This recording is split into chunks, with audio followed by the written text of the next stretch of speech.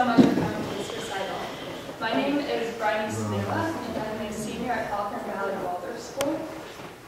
And for those of you who don't know, at Falcon Valley, all seniors are required to complete a senior project.